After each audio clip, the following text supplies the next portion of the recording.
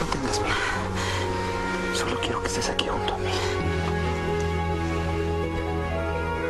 Me arrepiento de haber tentado a tu madre con mi ofrecimiento. Pero no estoy arrepentido de haberme casado contigo. Te amo, Matilde. Te amo desesperadamente. No, mi vida. No llores, por favor. Quisiera haberte conocido antes. Nos estamos conociendo ahora. Sí, sí, pero Abrázame.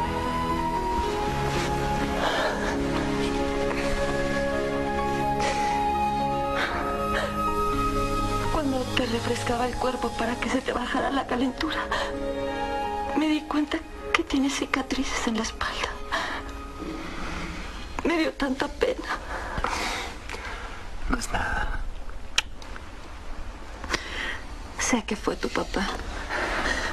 Él ordenó que te hicieran esto. ¿Quién te lo dijo? Don Urbano. Dice que fue porque querías aprender a leer y escribir. No te angusties tanto. Eso pasó hace mucho y ya no duele. Debe dolerte el alma al recordar que fue tu propio padre. El alma me duele. Solo cuando pienso que me quieres dejar.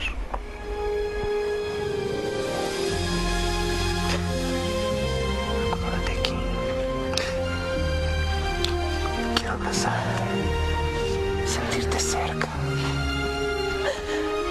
Sentirte cerca siempre.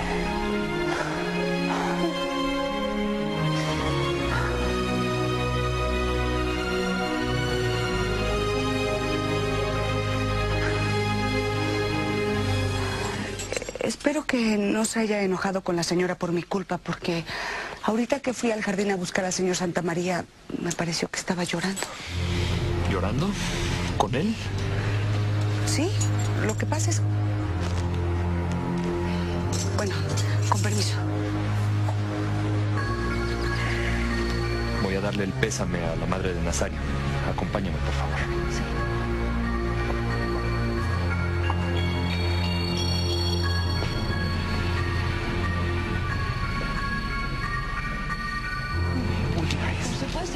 inquieta. Y luego tú hasta amenazas a Benigno. Es que sospechas del alcalde y eso es muy arriesgado. Todavía no has contestado mi pregunta.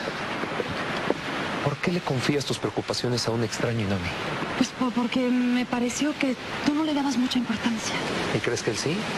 ¿Que mi seguridad, la tuya y de cuantos viven a mi alrededor le preocupa más a él que a mí? ¿Por qué prefieres abrirte con un desconocido y no conmigo? Hasta lloraste con él. Anda, vamos a ver a esa pobre mujer.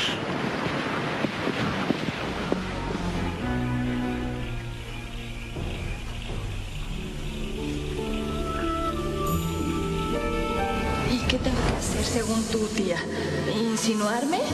¿Provocarlo? Eso no estaría nada mal, porque embarazarte te urge más a ti que a él.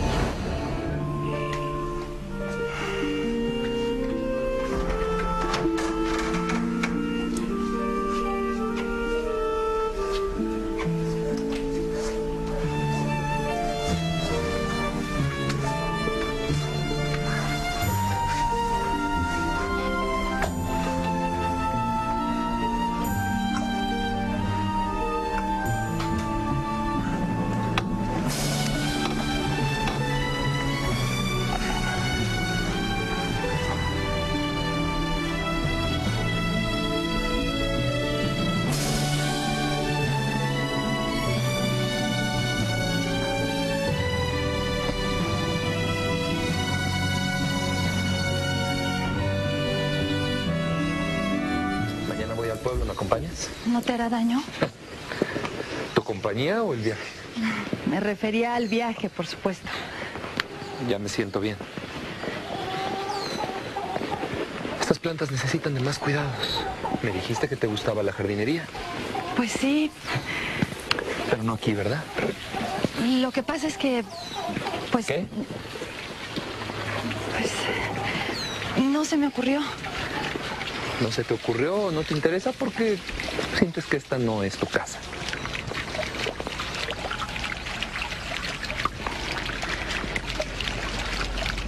Tal vez, tal vez sea por eso.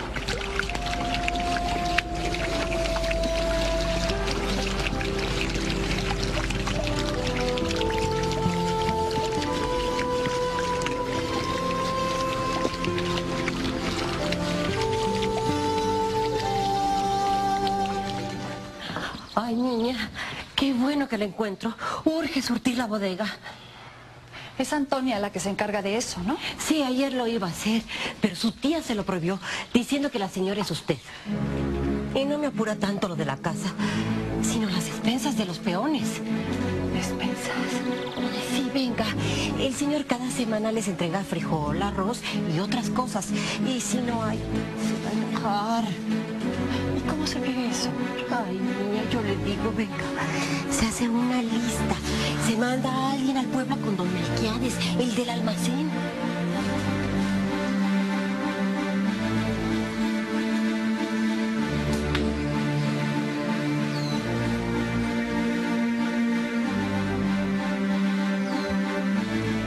Tiene que escribir lo que hace falta. ¿Qué hace falta?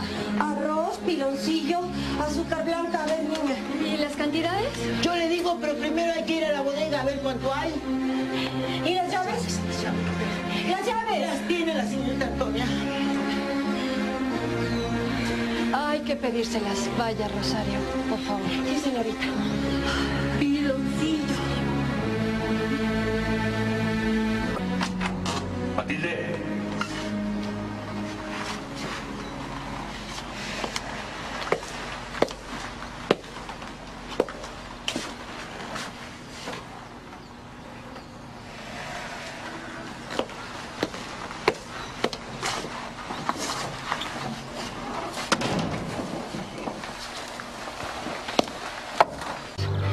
Las cantidades las ponemos después.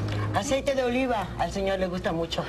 Y también hay que preguntar Ah. si ya llegó el jabón perfumado. Sí. Y no se le olvide la lija. Pero antes el jabón. Para el baño de Manuel, supongo. ¿Es el pedido para el almacén? Sí. Lo que pasa es que me acabo de enterar que hacía falta hacerlo.